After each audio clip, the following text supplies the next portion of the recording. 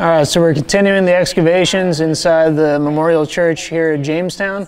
Uh, right now, I am in the northeast corner of the chancel or of the church, and we're starting to uncover uh, the, the bottom extent of the 1640s foundation uh, down to subsoil.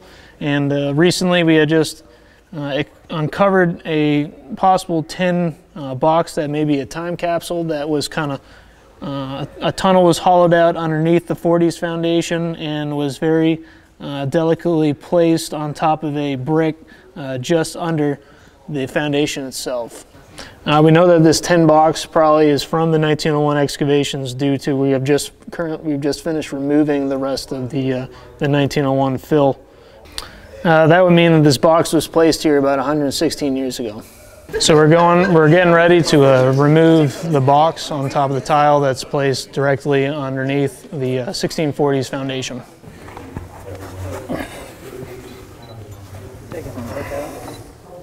I'm gonna take it out with the brick.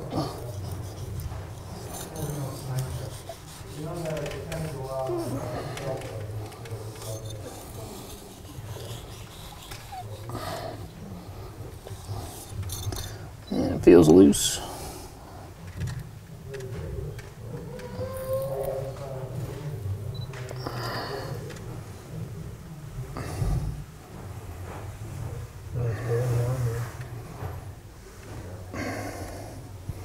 There we go.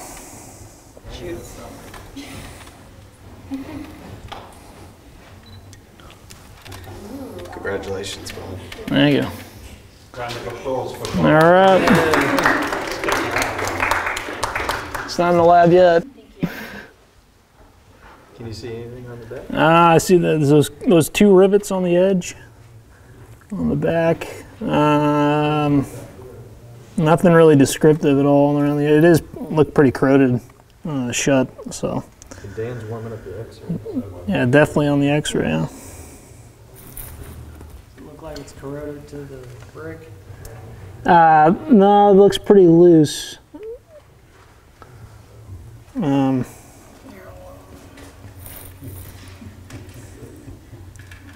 yeah, it's it's not it's not corroded onto the brick at all, or on the tile. So, cool. There we go. To the left? To the lab, huh?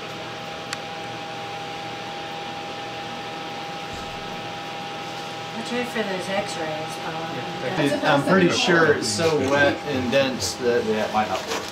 might not work.